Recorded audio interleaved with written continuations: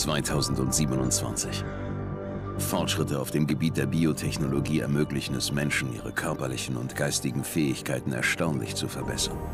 Falls sie es sich finanziell leisten konnten, versteht sich. Ein neuer Typus betrat die Bühne. Halb Mensch, halb Maschine. Und zumindest in Detroit war nicht jeder froh darüber. Ich hatte gerade eine Stelle als Sicherheitschef von Seraph Industries angetreten, einem führenden Biotech-Unternehmen. David Seraph hatte mich persönlich dafür ausgewählt, seine Mitarbeiter zu beschützen. Dazu gehörte auch meine Ex, Megan Reed. Sie war eine brillante Neurowissenschaftlerin und hatte einen Weg gefunden, Augmentierungen für alle sicher und bezahlbar zu machen. Sie musste ihre Ergebnisse nur noch vor dem Kongress präsentieren. Aber in der Nacht davor versagten meine Sicherheitsmaßnahmen. Ein Team von Black Ops-Söldnern stürmte die Seraph-Zentrale und tötete alle Anwesenden. Drei von ihnen waren schwer augmentierte Panzer auf zwei Beinen. Ihre Mission? Megan und ihr Team auszuschalten. Ich wollte sie aufhalten, aber ihr Anführer warf mich durch eine Panzerglasscheibe. Das Letzte, was ich hörte, als eine Kugel in mein Gehirn einschlug, war Megans Todesschrei. Ich hätte mit ihr sterben sollen. Aber das passierte nicht. Militärische High-End-Optimierungen retteten mein Leben. Die besten Augmentierungen, die Seraphs Geld kaufen konnte. Nach einem halben Jahr hatte ich mich an sie gewöhnt. Weitere Ruhe war mir nicht vergönnt, denn Seraph Industries wurde erneut angegriffen. Diesmal von einer radikalen Gruppe prohumaner Puristen. Gewalttätig, militant und fanatische Gegner menschlicher Augmentierung.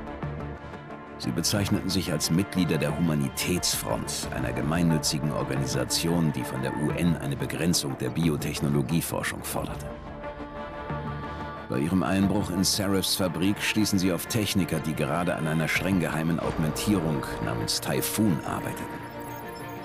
Ich sollte sie wieder beschaffen und fand schließlich direkt daneben einen der sogenannten Puristen, die er mit Gehirnimplantaten ihre geheimen Daten herunterladen wollte.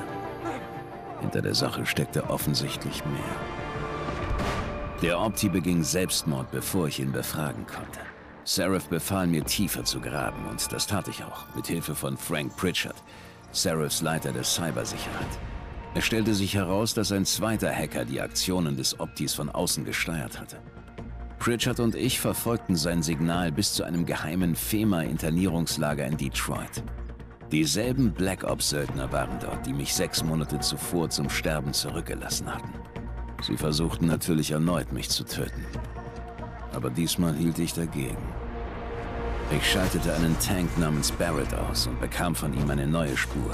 Ein Penthouse in China. Natürlich wussten wir beide, dass es eine Falle war.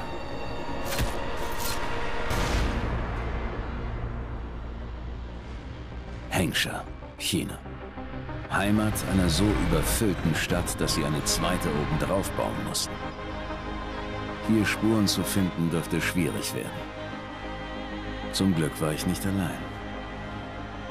Farida Malek, die beste Pilotin von Seraph Industries, hatte schon in Hengsha gelebt. Es ist immer gut, jemanden an der Seite zu haben, der sich auskennt. Malek setzte mich in der Lower City ab, in der Nähe des Penthouses, das Barrett erwähnt hatte. Bell Tower Associates, ein privates Sicherheitsunternehmen im Dienst der chinesischen Regierung, ließ das Apartment gerade durchsuchen, als ich ankam. Aber nicht aus dem Grund, den ich vermutete. Es stellte sich heraus, dass der Mieter ein krimineller Hacker namens Van Bruggen war. Derselbe Hacker, der den Opti in Sarahs Firma ferngesteuert hatte. Seine Panikreaktion, ihn Selbstmord begehen zu lassen, war ein Fehler gewesen. Denn nun wollten ihm seine Söldnerkameraden ans Leder. Und ich musste ihn zuerst finden. Der Weg zu Van Bruggen führte über die Triaden, die Bosse des organisierten Verbrechens in Hengscher. Sie hielten den Hacker in einem billigen Capsule-Hotel fest. Als ich Van Bruggen fand, erzählte er mir freimütig, wer ihn rekrutiert hatte. Zhao Yun-Ru, die Präsidentin von Taeyong Medical. Laut Van Bruggen wollte Zhao die Augmentierungsindustrie monopolisieren und hatte Black Ops-Söldner zur Destabilisierung ihrer Konkurrenz rekrutiert. Seraph Industries stand ganz oben auf ihrer Liste. Um das zu beweisen, musste ich bei TYM eindringen und ein Überwachungshologramm von einem Server holen. Ich hatte den Verdacht, dass Van Bruggen mir etwas verheimlichte, aber nichts hätte mich auf das vorbereiten können, was mich dort erwartete. Megan war nicht tot. Sie und ihre vier besten Kollegen waren entführt worden.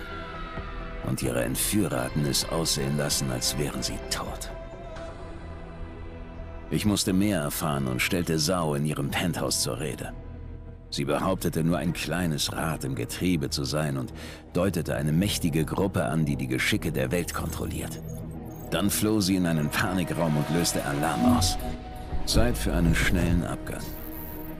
Ich war sicher, dass Sau gelogen hatte. Aber ein Teil ihres Geständnisses klang logisch. David Seraph war um seine Leute so besorgt gewesen, dass er allen einen Peilsender unter die Haut hatte implantieren lassen. Die GPAs hätten am Tag des Angriffs senden müssen. Aber laut Sao hatte ein einziger Anruf bei Pikes, dem weltweit führenden Anbieter von Satellitennachrichten, genügt, um diese Signale abzustellen. Ich musste ins Pikes Hauptquartier in Montreal, um mehr zu erfahren.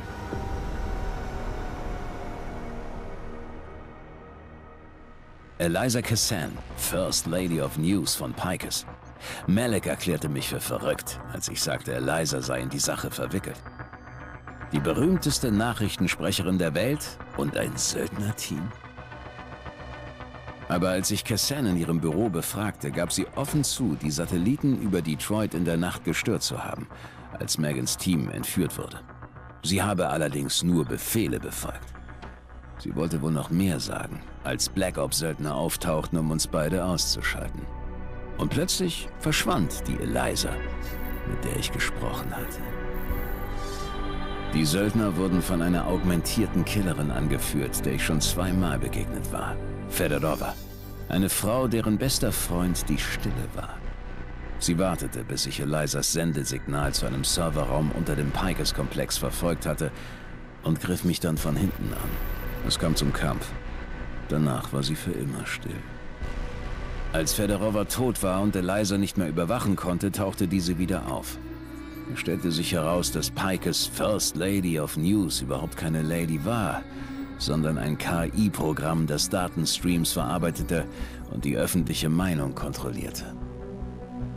Eliza erzählte mir, dass die Söldner einen Arzt der Humanitätsfront namens Isis Sandoval mitgebracht hatten, um die Peilsender zu entfernen, während die Satelliten über Detroit offline waren. Und wenn ich mehr wissen wollte, sollte ich mit David Seraph reden. Als Malik und ich wieder in Detroit ankamen, waren die Spannungen zwischen normalen und augmentierten Bürgern eskaliert.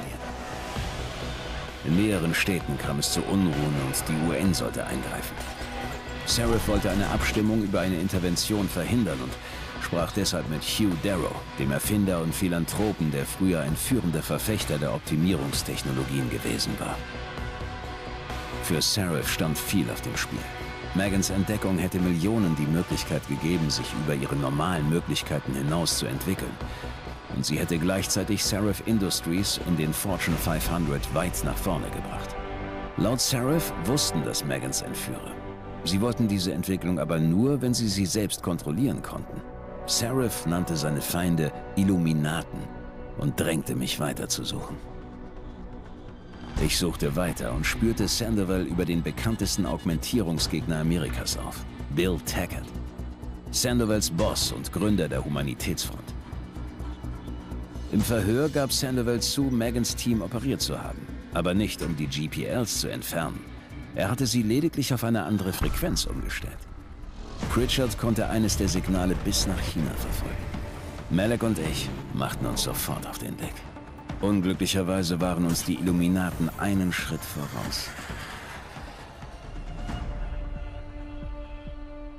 Vom Himmel geschossen von Bell Tower Associates. Nur Sekunden nach der Ankunft im Luftraum von Hampshire. Maleks Können als Pilotin rettete mich. Nach einem harten Kampf entkam ich nach Lower Hampshire. Das Signal, dem ich folgte, führte mich direkt zu den Triaden. Genauer gesagt zu dem augmentierten Arm von Tong Si Hung, dem Anführer einer Bande von Augmentierungsharvestern. Tong sagte, er habe den Arm einer Leiche abgenommen, die Belltower vor seine Tür gelegt hätten. Mindestens einer von Seraphs Wissenschaftlern war demnach tot. Aber vielleicht nicht alle. Tong erzählte mir von einem Hafen für Menschenhandel und half mir an Bord eines Schiffes von Belltower zu gelangen. Es fuhr zur Rifleman Bank Station, einer Militärbasis im südchinesischen Meer. Belltower hielt dort entführte Zivilisten gefangen und benutzte sie zur Perfektionierung des Hiron-Projekts, einem Mensch-Computer-Interface, bei dem die meisten Testpersonen ihr Leben lassen mussten. Meine Suche nach Megan hätte damit geendet, wenn nicht ein geheimnisvoller Verbündeter namens Quinn aufgetaucht wäre. Für meine Hilfe, Belltower hochgehen zu lassen, brachte er mich auf ein zweites Schiff, das nach Singapur fuhr, zur Omega Ranch, einer Biotech-Anlage der Illuminaten. Drei von Serifs Wissenschaftlern wurden dort dazu gezwungen, eine Technologie zur ferngesteuerten Abschaltung von augmentierten Fähigkeiten zu entwickeln. Dank eines Notfallrückrufs der Weltgesundheitsorganisation war der erforderliche Biochip bei Millionen von Menschen weltweit bereits installiert worden. Mithilfe der Wissenschaftler verfolgte ich Megans Spur bis zu einem privaten Bereich der Ranch. Dort traf ich auf Jaron Namir, den Panzer, der mir bei unserer ersten Begegnung eine Kugel ins Gehirn gejagt hatte. Er hatte sich mit Sao zusammengetan und gehofft, mich unvorbereitet zu erwischen. Ein für ihn folgenschwerer Irrtum. Ich fand Megan in einer Suite, die Hugh Darrow gehörte, dem milliardenschweren Philanthropen, den Seraph um Hilfe gebeten hatte. Darrow hatte sie überzeugt, den Biochip-Plan weiter zu verfolgen, indem er versprochen hatte, die Tech zu sabotieren. Gerade als sie das erklärte, begann Darrow mit einer weltweiten Fernsehansprache, in der er verkündete, dass Augmentierungen der Untergang der Menschheit seien. Und um das zu beweisen, aktivierte er die Biochips. Auf der ganzen Welt begannen Augmentierte Amok zu laufen und zu töten. Darrow hatte alle hintergangen. Und ich musste jetzt alles wieder in Ordnung bringen. Dazu musste ich Panchaya erreichen, eine riesige Anlage im arktischen Ozean. Ich rannte durch Gänge, die von augmentierten Arbeitern gebaut worden waren. Und überall sah ich Tod und Zerstörung. Als ich Darrows Sendesignal endlich abschaltete, war mir klar, welchen Schaden er angerichtet hatte. Dennoch war die Zukunft der Menschheit unklar. Wie würde die Welt auf diese Sabotage reagieren? Würden die Menschen jemals wieder Vertrauen zu Augmentierungen fassen? Was würde der nächste Schritt der Illuminaten sein? Nur die Zeit konnte uns darauf Antworten geben.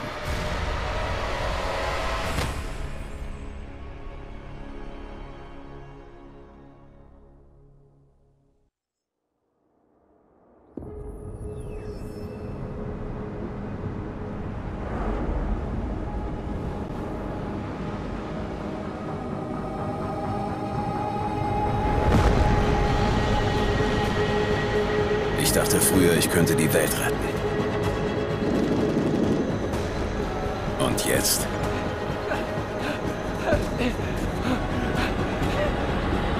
Bei einem weiteren Terroranschlag sind 251 Passagiere an Bord des Sister Airlines Flugs 451 ums Leben gekommen, als ein augmentierter Passagier sich Zugang zum Cockpit verschaffte und die Crew brutal ermordete.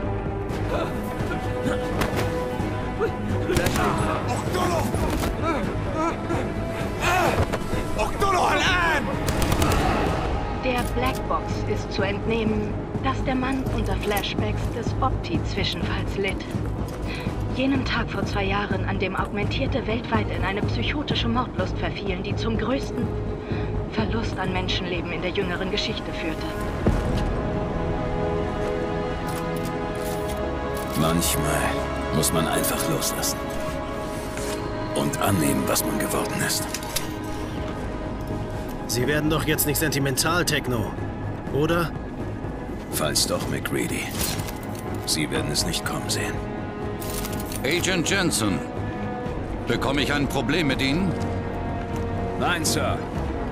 Dazu besteht keine Veranlassung. Gut. Sie sind nämlich der einzige Augmentierte in diesem Team. Und das will ich unbedingt ausnutzen. Alle herhören! Wir haben einen Sandsturm am Arsch und können uns keine Fehler leisten. Wir suchen einen Waffenhändler. Sein Name ist Shepard. Ein Ex-Belltower. Einer der Special Forces Commander, die während des Zwischenfalls verschwunden sind. Er ist aus seinem Versteck raus? Klingt nicht gut. Ist es auch nicht. Er verkauft Waffen und Militäraugmentierungen an Terroristen. Das ist Aaron Singh, der Undercover-Agent, der Shepard aus seinem Loch geholt hat. Der beste UC, den Interpol hat. Seit drei Jahren versucht er bei den Djinn nach oben zu kommen. Einem Schmugglerkartell aus dem Irak, das den Osten infiziert hat wie eine Seuche. Letzte Woche hat unser Waffenhändler, den Djinn, eine große Lieferung Schwarzmarktware zu einem Spottpreis angeboten.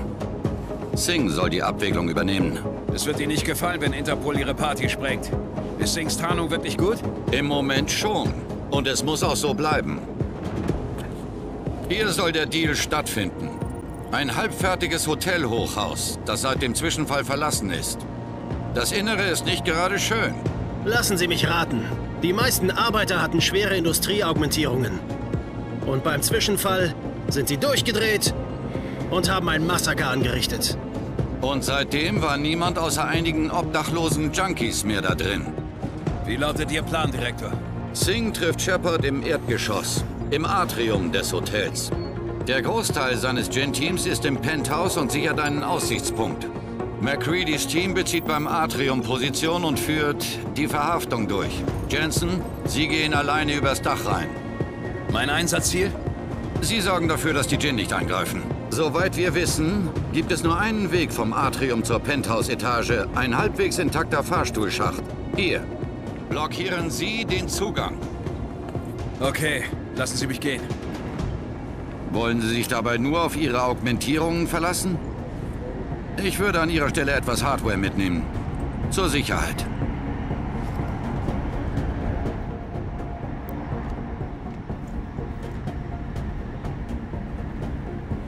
Willkommen zum Let's Play von Deus Ex Mankind Divided.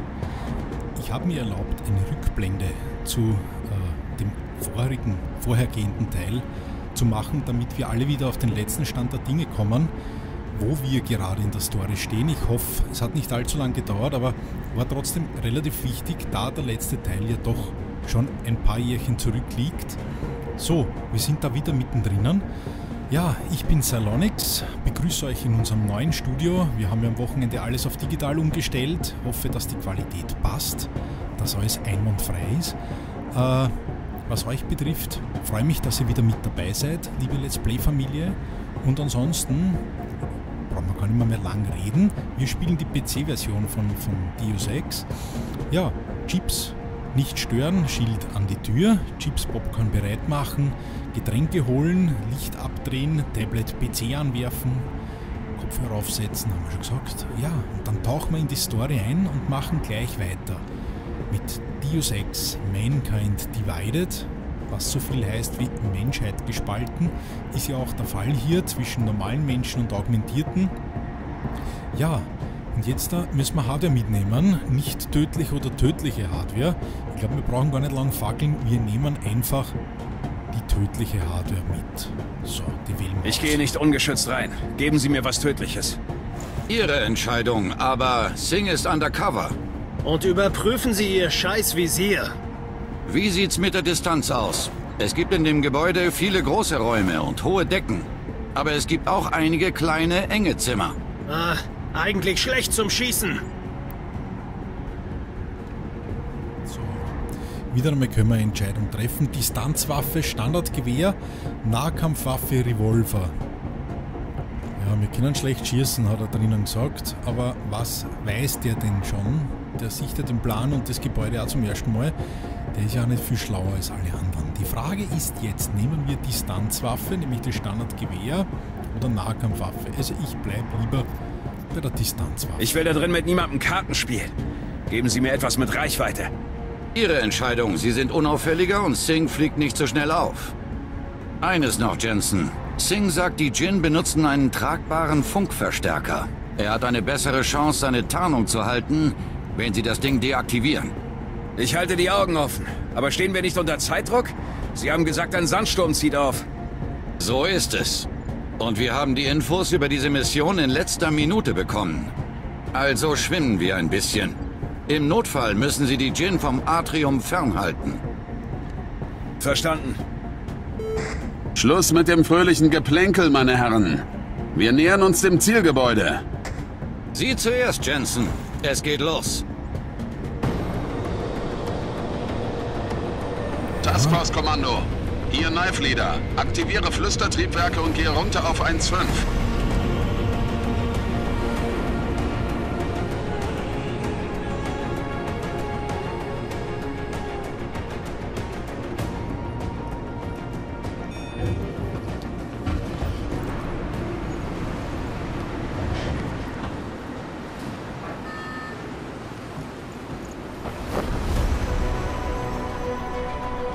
Mal raus mit uns. Direkte Weg ist immer der bessere Weg. Und wir schmeißen uns einfach da hinunter. Das ist natürlich fein, wenn man keinen Fallschirm braucht. Mit den Augmentierungen haut das ja tadellos hin.